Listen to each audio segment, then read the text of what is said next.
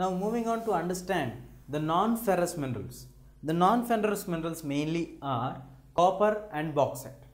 Copper, India has been a deficient country in availability of copper because it is been a malleable object and ductile and good conductor of heat or electronics. When it comes to deficient, deficient means not available in the completely required level or required amount of the product is not available that is called deficient.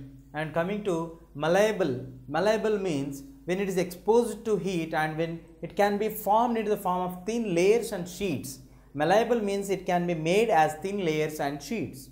So copper in india is deficient and it is deficient because it is can be made as malleable.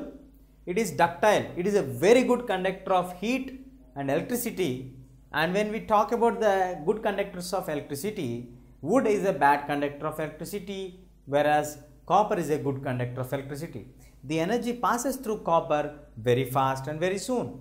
So it is very useful to make electrical cables electronic items. That's why copper is on high demand. And in india unfortunately we don't have much availability of copper for us.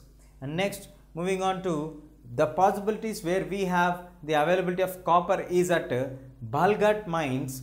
The Balaghat mines contribute in Madhya Pradesh for nearly 52 percentage of the entire available copper in India and also we have Singhbhum district in Jharkhand where we also have the availability of copper. Copper unfortunately India has very less availability of copper. Copper is a very very useful mineral because it is a malleable mineral where you can make sheets from copper and then it is a very good conductor of electricity and it is very useful to make electronic goods and the electronic items as well as it is very very important to have electronic cables and electronic goods where coming to the production of copper as we discussed earlier the production of copper is very less in India. Among that available percentage Balaghat mines in Madhya Pradesh are being the largest contributors with nearly 52% whereas Singhbhum mines in Jharkhand are the second largest contributors of copper in our country. Moving on to bauxite. Bauxite and the bauxite deposits are the next part of our lesson. Bauxite is used in making of aluminium. Aluminium is extracted from the combination of bauxites. It is found under the rocks, various varieties of rocks you find the aluminum silicates. The aluminum silicates actually bauxite gives to the rise of aluminium. Aluminium is found under the rocks whereas a combination of bauxite and the aluminium where aluminium is also very very important metal or a mineral for us because aluminium is also used in the manufacturing of aeroplane industry where nowadays a modern means and the fastest means of transport being the aeroplane industry has a very large demand for the mineral of aluminium. Aluminium also conducts the same qualities as that of copper.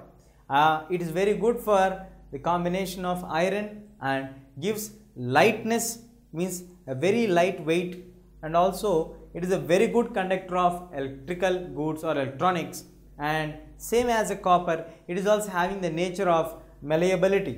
Malleability as I told you malleability means we can make thin sheets using this particular mineral.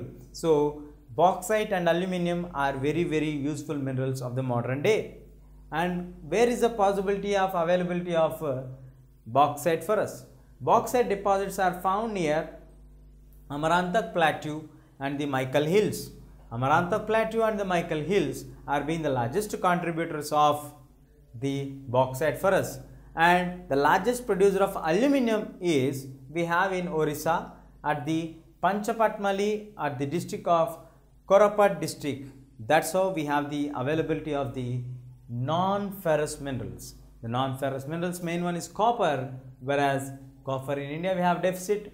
We have malleable nature for copper which gives special significance for copper.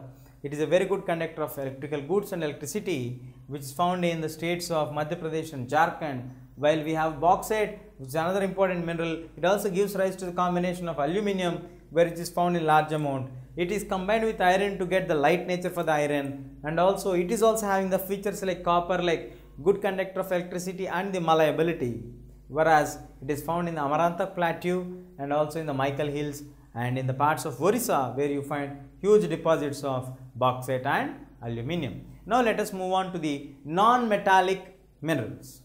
If you like this video, please give a thumbs up. Please subscribe to our channel to get more videos on CBSE syllabus.